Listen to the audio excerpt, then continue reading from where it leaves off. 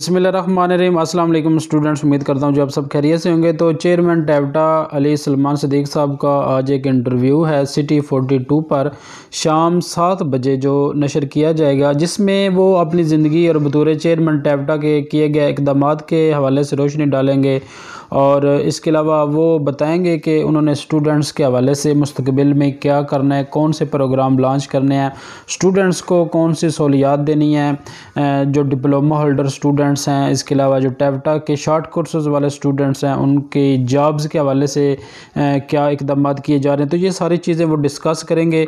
आपको पता है कि एज़ ए चेयरमैन टेवटा उन्होंने काफ़ी इकदाम किए हैं टेवटा के हवाले से स्टूडेंट्स के लिए। उन्होंने शॉर्ट कोर्सेज लेके आए हैं। इंटरनेट के हवाले से वो काफ़ी काम कर रहे हैं, रोज़गार के हवाले से ऑनलाइन स्टूडेंट्स को वो प्रमोट कर रहे हैं।